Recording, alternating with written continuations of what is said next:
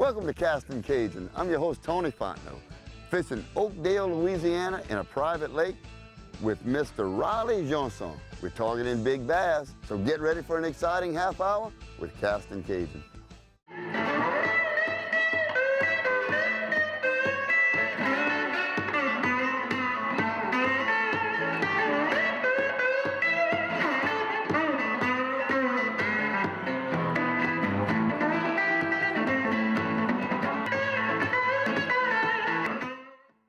Castin Cajun is brought to you by Thibodaux Regional Medical Center for expert, compassionate care. Grafton Dermatology, specializing in diseases of the skin, hair, nails, and cosmetic surgery. Cajun Home Improvements, the last roof you'll ever buy. Don's Wholesale, your truck superstore with the largest selection of pre owned trucks in Louisiana. HomeAndTravel.com. Experience world class fishing in the heart of Louisiana. Visit HomeAndTravel.com. Bourgeois Meat Market. Miracles in meat since 1891. And by Tony Chachere's. Makes everything taste great.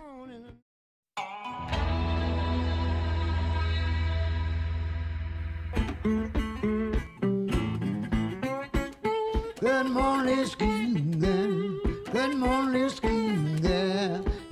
I go home with, I go home with you. Don't tell your mama and your papa you the big school boy. Fish on, good fish. Good fish. Woo, good fish. Yeah. Watch, Uh-huh. he's gonna splash again. Good fish. There, there he is. Woo, baby. Yeah. I got a lot of them this size in here. I got, That's what I'm talking about. yeah,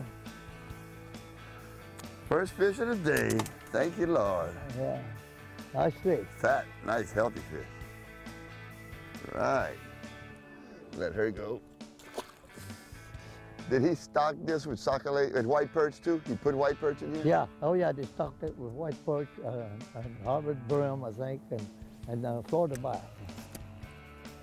It's mostly Florida. Uh, there was some native bass in here when they stocked it. But they stocked it with Florida. Fish on. I Fish saw it twitching when it was falling. Uh-huh. Fish Is the fish? on. Okay, Yeah. nice. Not Hey. as big as the last one, but it's a I nice enough one. of this. I Good want one. jumping. I want an old worm. You want one of my words? I Mr. want Rock? one of your words. you Help got yourself. enough? Nothing pretty bass, healthy. This might be a male. The last one was full of eggs. Yeah, and big fish. Know, like most of the females should be full of eggs right now. Uh-huh. because the water temperature is 57 degrees, so they haven't spawned yet. You know, last week, a couple weeks ago, it got up to 60 for uh, one day, but they don't, usually don't spawn until around 70 degrees. What I've been fishing with this morning is a worm by Mr. Twister. It's called a hang 10. It's a 10 inch worm, and the color I'm using is Red River Special. that seems to be the key to it. Mr. Ollie, Mm-hmm. how much is he charging you for that worm now that he's caught for you? Okay, well, uh, tell him I got a credit card from Go Discover. I'll pay with it. The only one we don't take is American Express. Fish on. There you go. Another good fish. Come on, baby. Oh, yes, Good. good one. Good Yeah. one. You'll keep, Ooh, or let go anyway. You'll make Oh, the show. There you got him. About two what You pounds. got it, what you call him on? Biting hard. On that same, I caught him on that uh, That's the long one. same hang 10, 10 inch worm by Mr. Twister.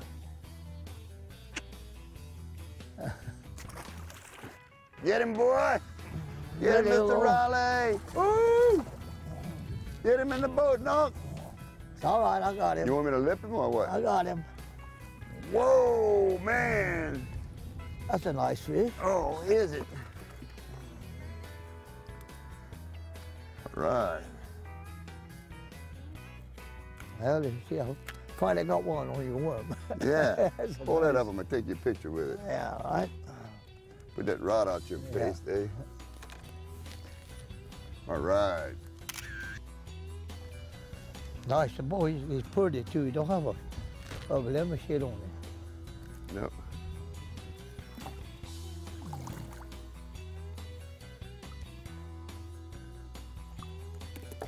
He goes. I want another one of those worms. I want another one of those big worms. That seems to be the, the bait. Thank you, sir. I'm gonna catch me a big one with this one.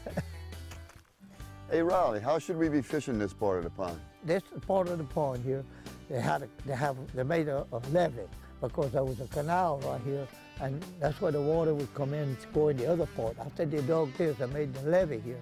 So this part of the levee comes down to about eight, nine, ten feet where we're fishing. There's a grass bed that ru- run about ten feet out, and the fish we've been catching are on the edge of the grass bed, uh, right, right next to uh, the deep water this morning. Uh, in the summertime, I run the top of the bait over the, the grass and catch them fish in the grass. But right now, they, they're in that deeper water. they- uh, I guess they're suspended right at the edge of the grass. That's where we're catching them anyway. That and mother stumps on that side. Don't go away. We'll be right back. More bass fishing. Hey! Saw it? Thought it was a fish.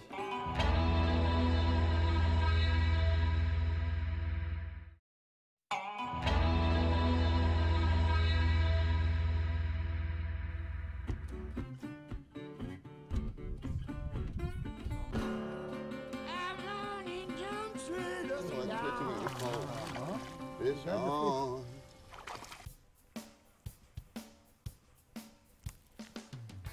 My name is Raleigh Jeansonne, and, and I've been fishing all my life, just about. I started when I was about probably six years old. I was born and raised on a farm next to a bayou, and I learned to fish on that bar behind the house. One day I went out and I caught a bass. Well, that put some flame in me. I started bass fishing, and when I got 18 years old, I joined a club. We, uh, bass had just got started then back in the 60s where they were forming clubs and they were uh, fishing tournaments. And so uh, I joined a, a, a, club out of Bunkie called Bunkie Bass Masters. And we fished all over. We fished Toledo Bend, we fished Saline, Lotto Lake, Spring Bayou, and I was president of it for about four years. Today I'm, I'm still fishing. I'm 86 years old. I'm still staying in the boat. Sometimes I go by myself. I don't like it, but I do go by myself. But I like to have a partner with me in case something happens. But anyway, I'm 86 and I'm in good shape. This used to be a rice field. Uh, when I lived in Oakdale back in the late 70s, uh, a fellow by the name of Tangele, and I got to know him. He had that, the same lake they have now, but it was a lot smaller. Then Mr. Elliott and, and Bob Champagne bought the property from him. And I'll start coming here probably uh, 15 years ago, uh, right after they bought it. And uh, uh, he enlarged the lake and he stocked it with Florida bass, and harbor brim, and some white perch. But there's a lot of fish in the lake. See? A shad, an injured shad swimming in the water. Shad, or it might be a little perch. Looks like a shad. Yep, shad. Fish on! Hoo-hoo. And We're right I here got looking that at the bite. shad, and I see my line swimming under the boat. That's. Whoa, Whoa. baby! He was probably Yeah, going after was a that nice shad. fish. I'm gonna keep fishing around that shad. Here, you bit the wrong thing. That wasn't real food. Now, look, the shad's down there. Now you can go get him. Oh, some nice bass, Mr. You saw Raleigh. him? Yeah, you saw him before? I know, I was watching the shad. It's still Uh-huh. swimming over there. All right, let me let you go, baby. That's a nice fish. Yeah. They got a bunch. That's what I said. They got, this is full of that. when you Every- really hit them, Yeah, every fish we yeah. caught so far was on this, this Mr. Twister Hang 10. 10 inch worm with a ribbon tail. Well, Mm. we don't we don't keep many fish out of here. no, we just the small ones you take out. project camp. You take the you know, small ones. Yeah, and uh, stuff like that. But most of the fish are thrown back. All right, and- where'd that shad go? That's our that's our bait. That's, that's to attract the fish. We need an injured shad swimming around. That was fun. Yeah. I'm sitting there, got my line in the water, and I'm looking at the shad, filming the shad, waiting for a fish to come and scoop him up. And I noticed my line swimming under the boat. Go figure. You know what I did notice? I need to slow my bait down. Because my bait was just hanging out there in the water. I wasn't even reeling uh-huh. when he picked it up and started swimming under the boat with it. Yeah, I'm coming to to the- try letting it sit a little bit. Coming to the deep side. Yes, sir.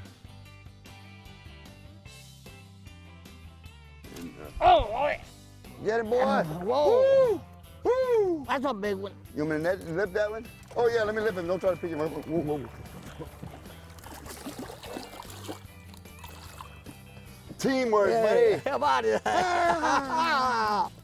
And look, I even That's got a bait in my, in my shirt. Huh? Can, can Oh, you Lord. unhook me? Uh, yeah, yeah. All Ah, right. in my finger now. Ah, Oh, no, no, no. ah. Hook my shirt, hooked his finger, hooked the bass. Everything's getting hooked. That's the nicest one yet, That's Mr. a Ron. nice one, yeah. Oh, yeah. All right, girl. All right? Are you okay? Okay? There she goes. Gone, gone. Thank you. Going back in the depth. All right, let's do that again. I'll tell you what, Mr. Raleigh might be 86 years old, but uh, he was nice enough to let me catch a few fish before he turned it on. But he saved the big ones for himself. Don't go away. When we come back, Chef Chad Farris will prepare his delicious alligator nachos.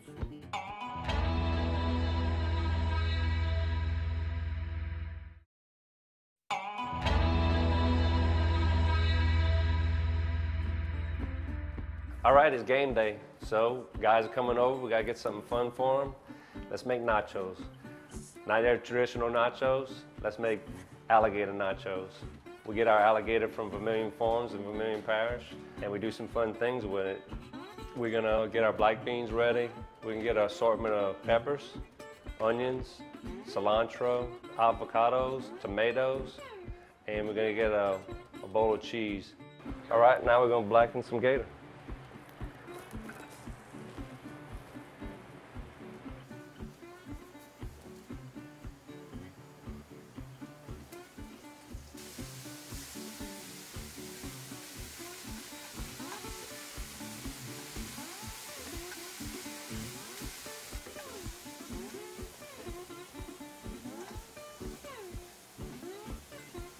To assemble them, we're not gonna use chips out of, out of bag. We're gonna make our own chips. We're getting corn tortilla chips. We're gonna cut them up.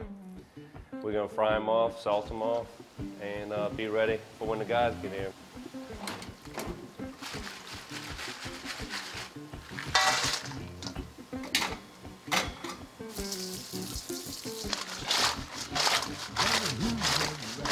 All right, this is how I layer the ingredients so they stay high and pretty. Start off with the, the starter show, our black and alligator. Um, I put a little cheese. And then we can come with um, our tomatoes. And we want to spread them out. Then our fresh jalapenos.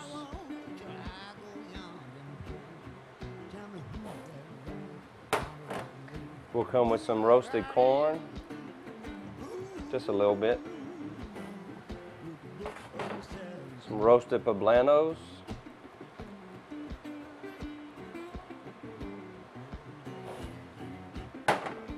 We'll go with a little more cheese.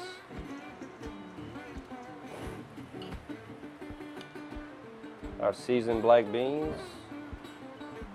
More cheese. And then we come with our chips. Make sure our chips have cheese on every chip. We do a layer, do some cheese.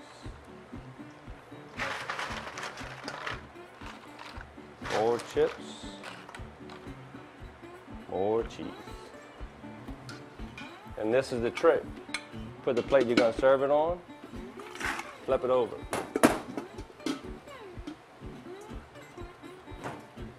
Goes in the oven to melt the cheese and you got nachos.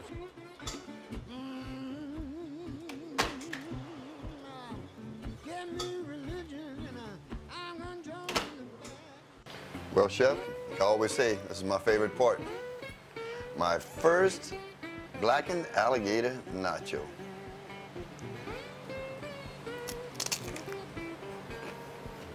Mm. Ready for the game? Won't be my last. Blackened alligator nachos. Ferris's kitchen or a hurricane hole. Mmm.